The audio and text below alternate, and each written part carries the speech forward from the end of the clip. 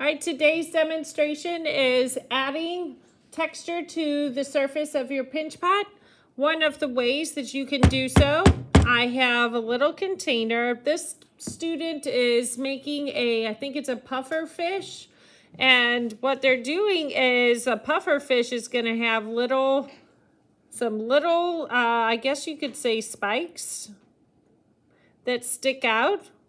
What I've done is I've added slip to this bottle and I've made it so it's a little bit thick.